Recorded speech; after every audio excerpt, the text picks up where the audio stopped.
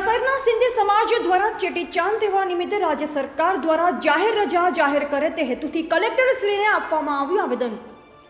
સિંધી સમાજ દ્વારા ચેટીચાંદ તહેવારને લઈ ત્રેવીસમીએ જાહેર રજા આપવા કરાઈ રજૂઆત. ગોધરાના સિંધી સમાજ દ્વારા જિલ્લા કલેક્ટરને આવેદનપત્ર આપી કરાઈ રજૂઆત. તિથિ મુજબ તેવીસમીના રોજ ચેટીચાંદ તહેવાર છે, જ્યારે રાજ્ય સરકાર દ્વારા બાવીસમીના રોજ રજા જાહેર કરવામાં આવી છે, જેના લીધે નોકરિયાત અને વિદ્યાર્થીઓને તહેવાર ઉજવવામાં અનુકૂળતા રહે તે માટે ત્રેવીસ માર્ચે રજા જાહેર કરવા માટે રજૂઆત કરવામાં આવી હતી. ગુજરાતમાં ત્રણ લાખથી પણ વધુ સિંધી સમાજના લોકોની વસ્તી છે, ત્યારે વર્ષોનો સૌથી મોટા તહેવારને લઈ રાજ્ય સરકાર દ્વારા રજૂઆતના ધ્યાને લેવા સિંધી સમાજ દ્વારા રજૂઆત કરવામાં આવી હતી. રિપોર્ટર જીતેન્દ્ર નાથાણી પંચમહાલ.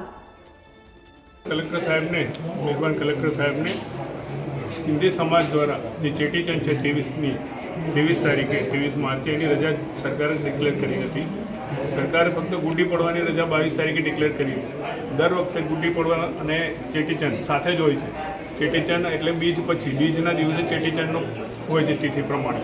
આ વખતે ચેટીચંડની રજા સરકારે ના ડિક્લેર કરીને અમારી સમાજ જોડે અન્યાય કર્યો છે.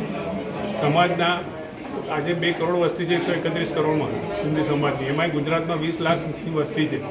આજે તમે ચેટીચંડની રજા ના આપીને વિદ્યાર્થીઓ જે શૈક્ષણિક ક્ષેત્રે અમારા ભાઈઓ જે સર્વિસ કરતા હોય એમને પણ જાહેર રજા ના મળે જે સરકારમાં હોય તો તહેવારની ઉજવણી કેવી રીતના કરી શકે? એના માટે અમે વિરોધ દર્શાવવા સાહેબને આવેદનપત્ર અપાયા છે. સમાજનો વર્ષો સૌથી મોટો તહેવાર કહી શકાય.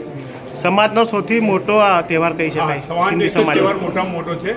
વરસ નવ બીજ ત્યાંથી સ્ટાર્ટ થાય છે ચેટીચંદના બીજે દિવસે. એટલે બીજના દિવસે જ ત્યાંથી જે ચેટીચંદની એની જગ્યાએ ગુટી પડવાની આપી છે રજા ને ચેટીચંદની આપી નથી.